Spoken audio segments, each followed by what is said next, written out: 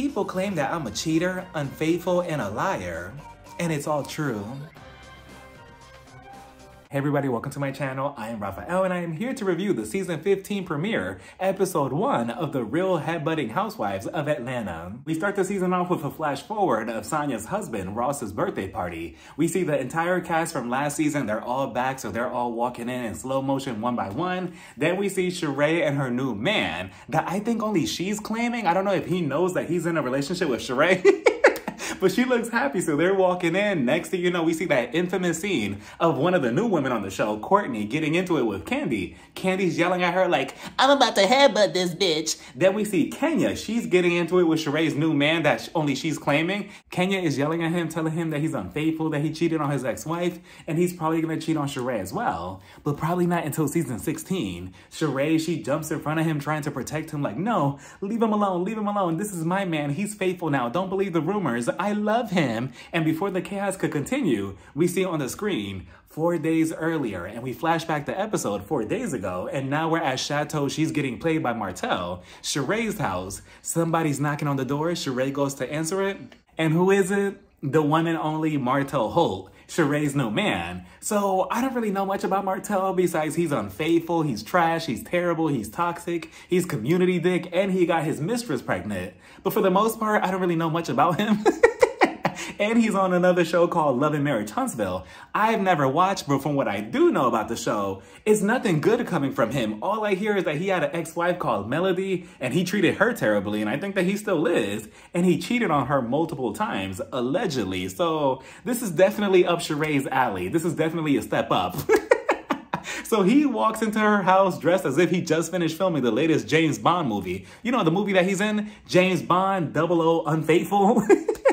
And if this was his first time on TV and we never knew who he was or his history with his last marriage or his unfaithful ways, you would think that him and Sheree, they're a pretty good looking couple. So that's unfortunate. Sheree, she's already trying to soften the blow in the confessional by giving us a brief rundown of what she thinks that Martell is in her head.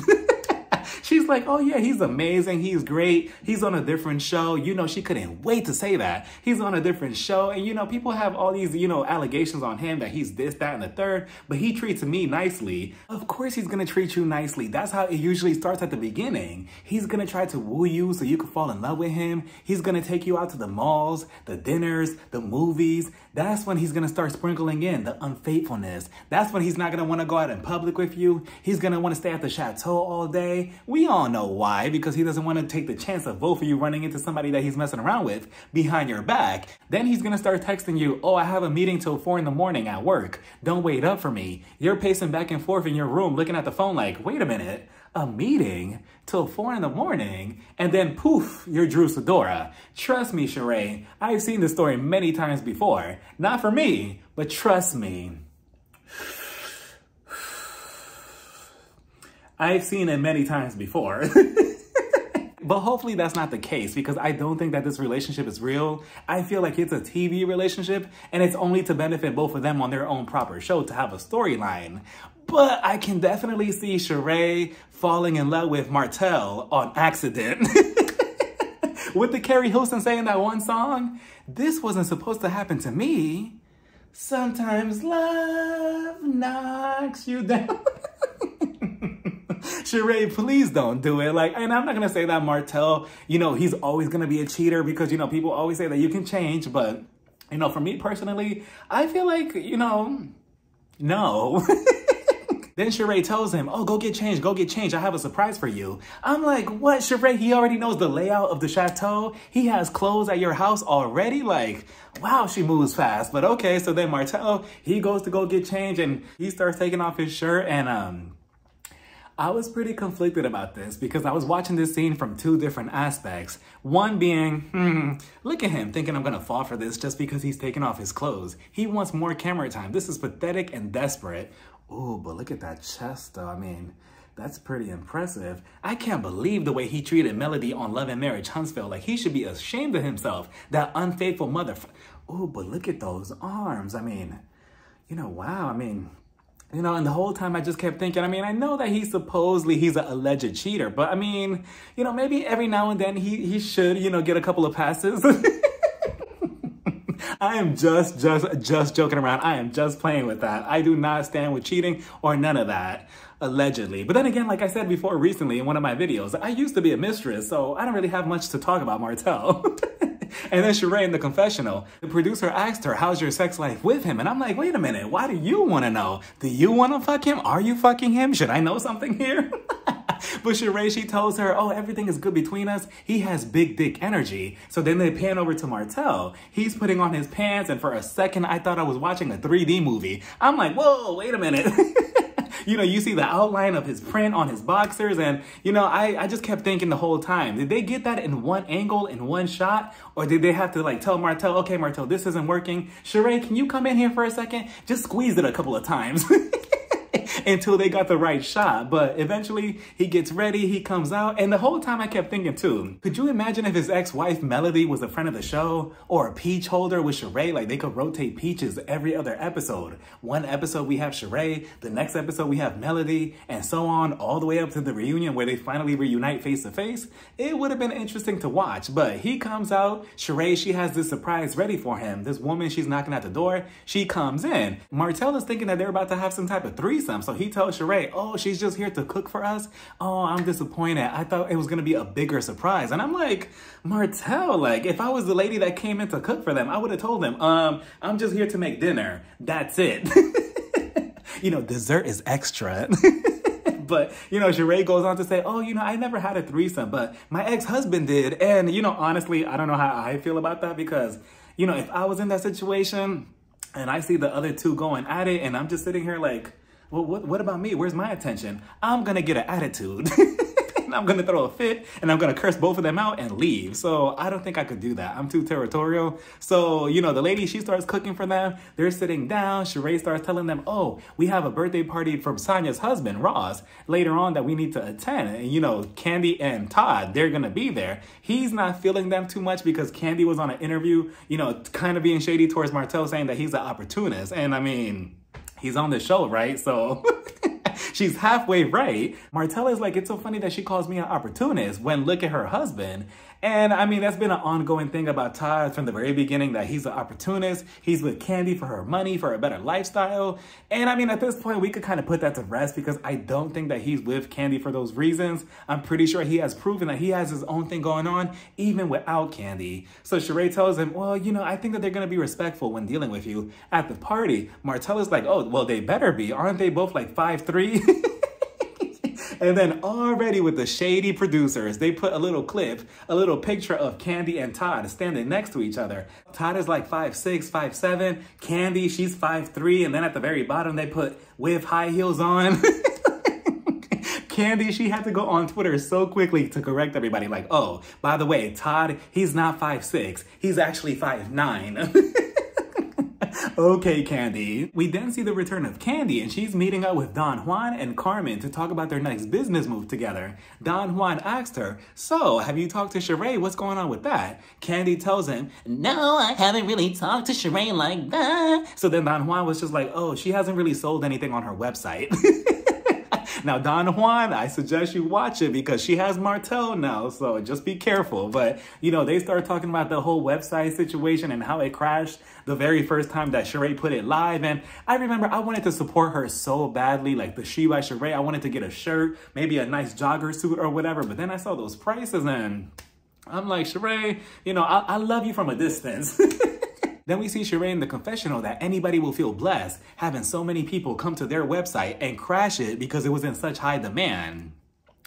And I mean, if she believes that, then that's the story that we're going with. But if anybody brought any She by Sheree merch, let me know how your experience went down in the comments. Kandi, she also gives her input in the confessional by saying, I mean, I tried to help Sheree with her website, but she didn't want any help. And honestly, I wouldn't trust Sheree as a business partner. And you know, Sheree, I said it last year in one of my reviews. You should have teamed up with Kandi. You know, Kandi being the business person that she is, you could have had a collab. You could have sold joggers, you know, know, get two joggers, get a free dildo from the candy factory. But no, you messed that up. And I don't even know how she, how she actually, how she's actually doing with sales. hopefully it's good because some of the pieces were cute. It's just a little too expensive. But, you know, then that's when Don Juan, he asked Kandi, so, you know, the, the candy factory is coming back, but how are we going to do that with time management? What's that going to be like? Kandi, she's a little worried because her son Ace, who's six, he's been telling her, mm, I want mommy, I want mommy. And, you know, that's also been an ongoing thing with Kandi and her family, specifically with her kids, for years now. Kandi, she goes on to say, uh, I mean, you know, Ace, he's been wanting my attention nonstop, and I just don't know what to do anymore. And, you know, this is this is a very sticky situation because Kandi, I love that she's a businesswoman. I love that she's about money, money, money, money, money. But it's just like, you know, and and I don't want to say that, you know, enough money is not enough, I guess. But Kandi, she she has so much money. You know, she has enough money where she could just kind of sit back and be with her kids. We all know that Riley, her her older daughter, had told her years ago, oh, I don't think that you should have another kid because you're not gonna have time for us. And look, it's playing out the way that she predicted it back then. So, but at the same time, you know, Kandi has goals, she has dreams, she has businesses, she's she has a whole checklist of things that she wants to be. A EGOT winner. I think I'm saying that right, right? a EGOT, E-G-O-T, whatever. She wants to be that, right? So, and I wouldn't want Ace to grow up to have some type of resentment towards Kandi for not being there for him when he needed her when he was younger. But, you know, Kandi figured that out because then Kenya Moore, she pops up. she shows up and you know, I really, really, I miss all, I miss the entire cast, but Kenya, I miss her the most. I'm like, oh, she's back. she gets a slow motion entrance of her getting out her car with the high heel boots, the ponytail. She just looks beautiful, right? She's like, okay, Don Juan and Carmen, you two have, you know, you made your little segment. Now be gone. she sits down and you know it was just so nice to see her for once and then we see the queen of the real housewives of atlanta Monyetta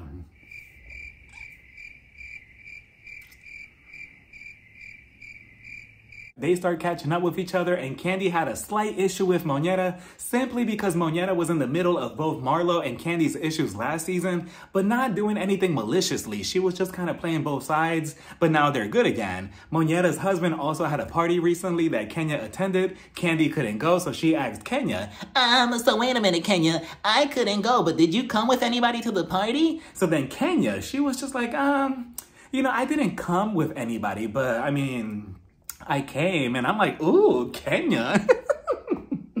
you kinky girl. but supposedly Monyetta at the party, she introduced Kenya to this man named Roy. From what we saw, the little selfie that they took on the couch, he looks cute, you know, and Kenya, she feels that she's activated again. She feels like a woman and, you know, she feels happy and, you know, hopefully the whole thing with Mark and her, it gets finalized at one point. I don't think that, you know, he signed any papers, but hopefully she could finally let him go in the past. Kenya, she flips it over to Kandi like, oh, so what's going on with you? What's been happening with you? And I'm like, wait a minute, do they not talk outside of the show? like this is the first time that they're all hearing about this, but Kandi she starts talking about her spoofs that she did on Sheree and everything. And I personally didn't think that they were funny at all. They were pretty cringe, but I did find it very impressive how Kandi she had all the outfits that, you know, at the reunion and everything for her little skits. And that was very impressive how she managed to do all of that. And now Sheree's upset about it. And Sheree, this is where you messed up because you should have came out with your own skits on Kandi, Todd, Mama Joyce even. We all know that you have the Mama Joyce wig in the closet from seasons ago. So you could have brought that out and, you know, made your own spoofs on Kandi. You know, play the same petty game as her, but you're upset about it. And currently, as of now, if you go on Twitter, she's currently having an issue issue with uh, KFC. Sheree is going back and forth on with KFC on Twitter because she tagged KFC and said, "Oh, you know, maybe I should have brought a bucket of KFC chicken to Kandi. That's the only apology that she accepts or whatever." KFC they actually replied to Sheree and said, "Oh, we have lemonade too since you're thirsty." And I'm like, "Wait a minute." Since when is KFC, you know, in the Housewives universe? And then Sheree, she just responded and she said, oh, well, I'm actually more of a big, a bigger fan of Popeyes. I'm like, Sheree, you really need to get it together. Get it together by the reunion because this is not looking good in your favor so far. But they also mentioned how Sheree is dating Martell, but how Martell has a history of cheating and is probably still currently cheating, allegedly. and Kenya, then she drops the bomb on everybody by saying, well, he actually slid into my DMs on Instagram. And, you know, I believe it, I do. But at the same time, Kenya was the same person who was so supportive of Sheree and Martell's relationship at last year's reunion. So I want to know the timeline of when he messaged her. Was it before or after the reunion? And I also want to know why she dislikes Martell all of a sudden and confronts him at the party and says, oh, well, you cheated on your ex-wife, so you're probably going to cheat on Sheree as well. Like, did she just find out about his past now? Because then I could believe it. But I mean, I don't know. I feel like she must have known or had a clue of who Martell was at last year's reunion. And obviously she was okay with it, but now it's a problem. But I don't know. I guess we'll find out later on. So she tries to open up the message that he slid into her DMs with, and it's not there. He deleted it. Hmm. Very, very slick, Martell, but not slick enough.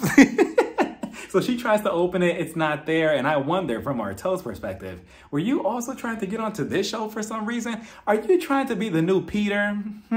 Just looking for any way to get onto these shows. Like first it was Kenya, that didn't work, so you moved on to Sheree. She's gullible enough, so she said yes, and now you're here, but what's gonna happen when that doesn't work out? You're gonna move on to Kim Zolciak? I can see it happening too, especially with what's going on with her currently. Did you all hear that Kim Zolciak, she's finally getting a divorce from her broke ass husband? I'm very, very shocked about it because I really thought that they were going to just stick it out together to the very end, but I guess not. You know, I can already picture it now too. Kim is in bed right now. She's going through her contact list like, huh, let me look for Big Papa's number. Oh, there he is. Hey, Big Head, do you miss me? I miss you too. Maybe we should catch up. I can just see her already at Andy's house. Like, Andy, please, I need to be on season 16 of The Real Housewives of Atlanta. Look, I finally have a storyline. I promise I'll go on the cast trips. Would you all be down to see Kim come back for next season? Let me know. But Kandi, she also lets us know that her and Todd, they're having issues again because of time management. He wants to produce a movie, but he wants Kandi to write for him but she doesn't really have time for it. So as she's explaining that, she's getting worked up and getting emotional. She tells them, Well, Todd is trying to produce a movie and he wants me to do the writing, but I just don't have the time for it at all. And I, I, don't know. I just feel like Todd is making me the problem. And, you know, all I really need is understanding. But he doesn't want to meet me halfway. Oh. And, you know, she gets choked up about that. And, you know, it's just that's also been another issue, an ongoing issue between both of them. And I don't even know, I don't know the solution to that because, you know, Todd, he's doing his own thing and you know, Kandi's doing his her own thing and it's just they both have goals and if she cuts back on her time, then that's stopping her dreams. But then if he does the same thing to help her and it's just, I don't know, Kandi, Kandi, you need to figure this out. we then head over to Sanya's house and it's officially her second season back and she already has merch out. Her husband Ross is wearing one of her new sweaters that says bop bop bop on it, something that she constantly said last season. So I'm looking at Sheree like, Sheree, what, what was the problem? Sanya got this done within one or two seasons, yet it took you like 50 years to get She by Sheree out of the grave and onto a website. Like, it's possible, obviously, but Sanya, she still has 1,200 people living in her house. It's her, her husband Ross, their son Deuce, her mom and dad, her sister Shari, Shari's husband Tyrell, their kids, the kids' friends across the street, the neighbors next door, the local mayor, I think Ashley Darby's friend Deborah, she was in there, Kim Possible, Jamal Bryant, Lisa Rinna, Lisa Wu from first season of Atlanta Housewives. I think I saw Clifford the Big Red Dog in there as well. It's just a whole big party, right? Sanya tells Ross that she's going all out for his 40th birthday party and the theme is to be Harlem Nights. She also lets us know that it's not to be the same thing as it was last year when she threw Sheree's party and honestly, you should have just kept that to yourself because I completely forgot. I forgot about that selfie thing that she had going on and it didn't spin around. oh, Sanya, you know, she tried. You know, she had some food and a couple of balloons that were deflated, but she tried. That's what counts, right? But then I believe her entire family, they surround them and they start talking. There was a couple, there was some tension in the room. I'm like, what's going on? What's happening? Is somebody about to swing?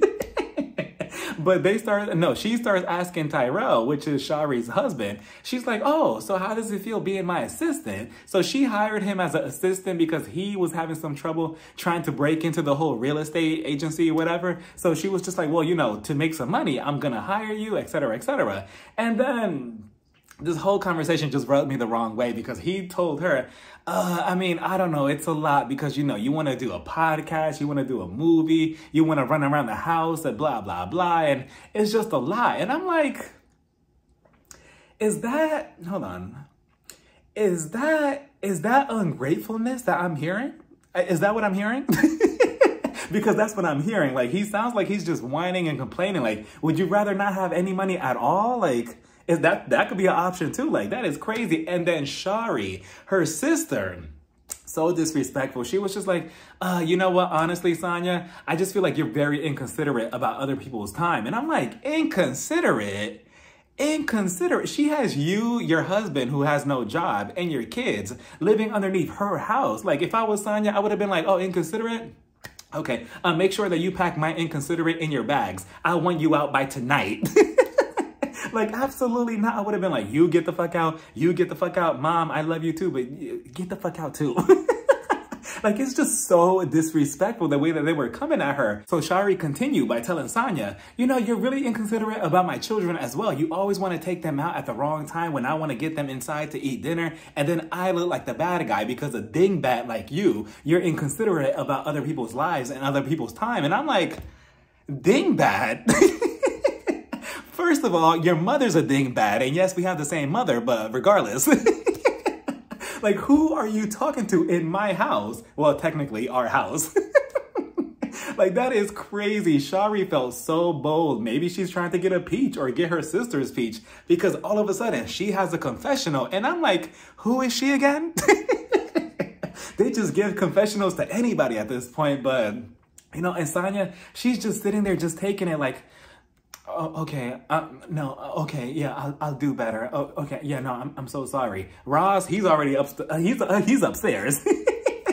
he's like, this is not my issue. I'm leaving you. Goodbye. But that was just so so disrespectful of uh, you know of them just coming at her like that. And Sanya Again, this is the issue with mixing family and friends like this because they are not going to respect you if they're your employees. They're going to look at you like, uh, you're trying to lay down the law to me. You're trying to give me rules to do and things to do. No, you're my sister. I don't have to take you serious because you're not going to fire me. You're still going to pay me regardless. I don't know. If I was Sanya, I will fire everybody and tell them, uh, you have until maybe season 16, maybe season 17 at most, if I still have my peach, to get the fuck out.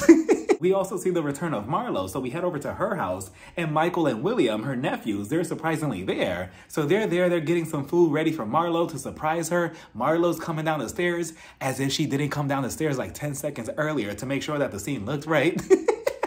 but okay, she could act surprised. She's coming down like, oh my God, wait a minute. What did you guys do? Oh my God, you guys are so nice. You guys are surprising your Monty with some food. I can't believe this. Michael, William, I love you guys. I can't believe this. Come over here. Give your auntie some hug. Um, thank you so much. Let's eat something right now before Miss Sharon gets here. So they have a nice, loving, touching moment between all three of them. You know, we catch up with them. Marlo, she lets us know that, you know, she's still, you know, going through this whole parenting thing that her sister, when she got out of jail last season, she didn't really talk to her or her kids and that's really sad to hear because I really thought after that heartbreaking conversation on the phone last season, maybe something would have changed for the better, you know, now, but I guess not. But, you know, now she has a life coach. And, you know, I feel like that's a step in progress. But I just, like I said before, I feel like maybe she should have hired a therapist and a life coach, you know, like double duty, you know, because a life coach, you know, I guess they could only just say but so much. A therapist, they could go something deeper. But Miss Sharon is the life coach. She comes on over, they start doing some activities, and this is where Miss Sharon lost me a little bit because she tells Marlo it's completely okay that you kick them out the house. And I know that Miss Sharon means well, and maybe she sees things from a different perspective, but I don't know. I just feel like there could have been a different way to approach that whole situation last season instead of kicking them out the way Marlo did. I get it. It was a lot, but again, there could have been a different approach to it, especially how Marlo just dumped them over to her sister, who already had kids in her house that she was taking care of, and now she has more stress to be on top of her. So, but they continued on learning how to express themselves and their emotions, and I love what Marlo said in the confessional, which by the way, shout out to Marlo's confessionals. I love those big hoop earrings that she had on. They look so huge, but they look cool. And the other look that she had on, the maroon lace outfit that she had on, she looked really nice in both. But Marlo, she goes on to say, I'm navigating this whole whole parenting thing because I never had it when I was younger. When I was younger, my mom used to tell me it's this and this and that's that. I couldn't say anything back to her. I would have to go upstairs to my room and leave it at that. And I agree with that because I feel like parents, they look at their children like, uh, you're a child. You're always going to be wrong. I'm an adult. I know what's right. This is my house. This is my rules. If you don't like it, you could go somewhere else. Knowing that they can't really go anywhere else. So they just have to go along with whatever you tell them. And they can never express themselves properly because you're always going to come down at them like, oh, stop. You're doing this wrong. Blah, blah, blah. It's wrong, wrong, wrong. I'm right, right, right. And I just feel like it should be a two-way street. And I love that Marlo is learning that with her nephews. We head back over to Chateau Martell, and Sheree's having Sanya over. She comes in and she notices the pink two-piece set that Sheree has on. She looks so good in it, by the way. It's an exclusive She by Sheree two-piece set. It looks really cute. And then they put the price next to it, $274. I'm like, damn, it's not that damn cute. but she does look good in it. But both her and Sanya, they're ready to work out. Sanya has her workout clothes. They're in the gym area. They're working out. Sanya is telling her about her issues, like, oh, I just got into it with my sister about this whole, you know, job issue and blah, blah, blah. You know, what we just talked about. And, you know, it's very simple, Sanya. Just fire them and kick them the fuck out. I mean, take some lessons from Marlo last season. and then we get another knock at the door this is where it gets a little interesting because then we have a friend of, the new friend of the show, which I don't know why they didn't just give her a peach. They're very stingy with the peaches nowadays. but we are introduced to Courtney. You know, Courtney comes in. She's being introduced as Sheree's friend. So that right there, we should have known that she's coming on with some bullshit. But she looks nice though in her thigh-high boots. Her and Sheree, they didn't really say how long they've been friends together for, but they know each other because they're children. They went to school together. And according to Sheree, Courtney, she's amazing. She's the best. She's like everything, right? But then again, Sheree also thinks that Martell is amazing. so what does that say about you? But okay, but she comes in, she notices that both Sanya and Sheree are working out. So she also starts squatting in her thigh-high boots. But she made sure to have every single camera on her. She wasn't gonna injure her back just for free.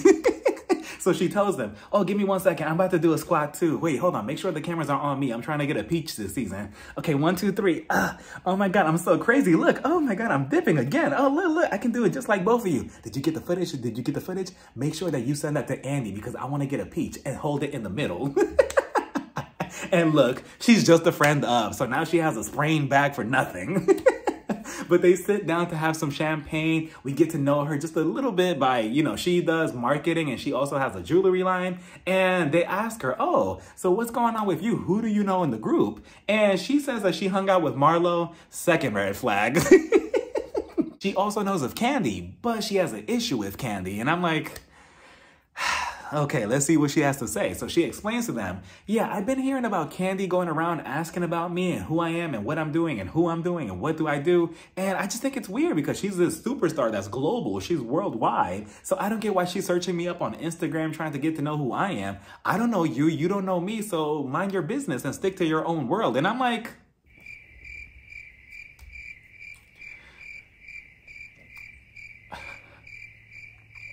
Like Courtney, Courtney, Courtney, Courtney, come over here. Courtney, come over here. Already the first episode, and I don't even know you like that, and we have to have a sit down. Come over here, get closer. Courtney, Courtney, cut it out. Like, what's with these housewives coming onto the housewife shows with the most pettiest excuses to try to argue with somebody? Like, if you're gonna come on that way, I want something dramatic, like something big, something like a huge bomb that's gonna just, you know, shake up everybody. Like, come on and say, oh, well, you know what? I actually slept with her husband, Todd, two weeks ago. like something dramatic, you know, that's, that's not true, by the way. But don't give us this high school BS because then it just shows that you're desperate for something. You're desperate for conflict for no reason. But, you know, I will say though, Courtney, she's not like Fatum from last season. So that's good. You know, I feel like with Courtney, there's potential. You know, I know there's, there's the first episode and she did come on doing a little bit too much later on, but I feel like there's potential with her, maybe. and then Sheree, she has to give her two cents in like, oh yeah, I also have an issue with Kandi, you know, with her spoofs and everything. I just don't like that. And then in the confessional, she goes on to say, oh, well, you know, Kandi, the only time that she doesn't have my name in her mouth is when she's eating or when she's sucking dick. Same. Sanya also wants to feel a part of something, so she tells them, oh yeah, Drew, Ugh, I, I can't stand Drew. And I'm like, Sanya, please don't drag out that issue that you had. It was a one-way issue with you and Drew from last season to this season because that will be your downfall and you will not be making it back to next season. because your sister is this close to snatching your peach with that argument earlier in your house. So we get to Ross's 40th birthday party and Sanya claims that she spent $100,000 on the whole entire party. And I get it, Sanya, that you're trying to prove something after the party that you threw for Sheree last season was a flop, but it was never that serious.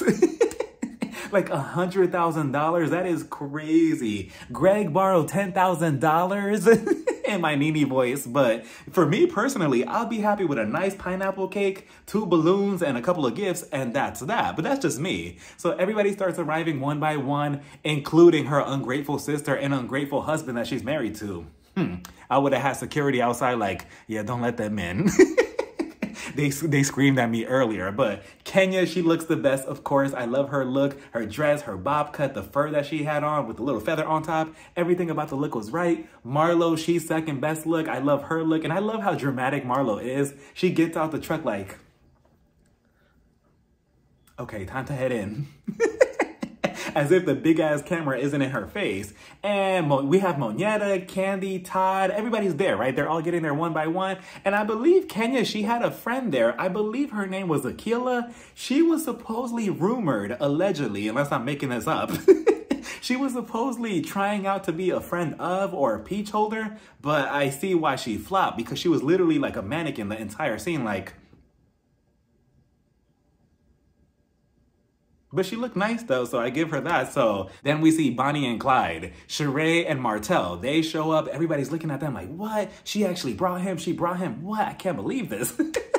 I'm like, of course, that's her storyline. Where is she gonna leave him? At home? No, she's gonna bring him. So Sheree also looks nice. Martell, he actually looks good too. So Kandi, she starts whispering over to Kenya like, Oh my god, can you believe that? She actually brought him. I can't believe this. Well, I actually heard a couple of things about Martell. So then Monyetta, Kandi, and Kenya, they start gossiping about him, about how supposedly, you know, Martell, he's already cheating on Sheree allegedly, and he's been talking to people here and there, there and here. And I'm like, hmm, interesting. Okay, so then Courtney, she pops up with her bobblehead. she pops up and she also looks nice and you know she's already ready. She's like okay this is my performance. This is where I'm this is where I'm gonna prove to Andy Cohen if I deserve a peach or not. Where's Kandi? Meanwhile, I was very shocked that Marlo was underneath the radar that entire night, even though she did let us know, oh, I'm not looking forward to seeing anybody tonight, so I'm just gonna mind my business and try to win some money. And I'm like, wow, okay, this is a new side to Marlo. Okay, whatever. So Kenya and Kandi, they continue talking about Martell and Sheree until they bump into them. Sheree greets Kandi, Candice greets her. It's very awkward. You could tell that there's some tension between them. Martell is just standing there like, yep, I know you all read about me on Twitter. and Kenya, Kenya is just smirking the entire time because she knows that she's about to cause some mess. And then in the confessional, she says that Sheree should have her own spinoff show called Watch Me Date These Dumb Dudes of Atlanta. Wait, but I need to be on season two, or at least put me on the New Jersey spinoff. that was cute. So eventually her and Monyetta, they take Sheree away. They're like, oh, come on, come on, let's go hang out over there. Kandi gets left by herself. So then we see Sanya and Ross make their grand entrance. I love what Ross was wearing. I love the jacket with the white hat. I love the whole look. Sanya, she also looked good. Meanwhile, Marlo, we knew that Marlo couldn't stay underneath the radar for too long because she runs into Courtney. She tells Courtney, so Courtney, wait a minute, because Sanya, she told me the other day that supposedly you have an issue with Kandi. What's that about? So then Courtney starts telling her that she doesn't know why Kandi is trying to claim that she knows her and that they're friends or whatever. And I'm like, Courtney, you should feel embarrassed that you're even spreading this around. Like, stop it. Eventually, Kandi, she runs into Courtney and Sanya. Marlo, she makes an exit. but she still sticks around close enough to at least hear what's going on. So Courtney, she tells, this is where she starts with Kandi, you know, bopping her head and bopping her chest at Kandi. She was just like, oh, hey Kandi, how are you? What's, what's going on? What's, what's happening? So, you know, it's so funny because I heard that, you know, you told a couple of people or whatever that you know me, that we're friends. And I told them, oh, no, no, no, I don't really know Kandi like that. you know what I'm saying? And I'm like, Calm down, Courtney. The cameras are not going anywhere. They're still on you. Relax. Kandi, she tells Courtney, Um, so wait a minute, hold on, because I never said that I knew you. I saw you in a picture with Dina, somebody who I knew, and then I said, oh, okay, I know Dina. I don't know who you are. I never claimed to know you or that we're friends. So then Courtney, she was just like, oh yeah, I know, I know that, I know, I get it. But you know, I'm just saying that, you know, I never said that we were friends. You know, I never want to claim you as a friend because I don't really need friends like that. And I'm like, Courtney, again, relax. What's in that damn champagne that Sanya had? Kandi also mentioned on her YouTube channel, her Speak On This segment, that she genuinely did not understand why Courtney was coming at her like this in the first place when she had no idea who Courtney was to begin with. And she keeps trying to explain to Courtney, like, look, I know who Dina is, who knows you, who knows me, but I don't know who you are, and I never claimed to be your friend or to know you or search you up. Courtney, she's not having that. So then Kandi tells her, Um, excuse me, so wait a minute, what's with this energy? What's going on right now? And then did you all notice Todd? Todd slowly started sneaking up behind Kandi. He was just like, yeah, I've been there before at the pillow talk with Kandi. I know how things could get.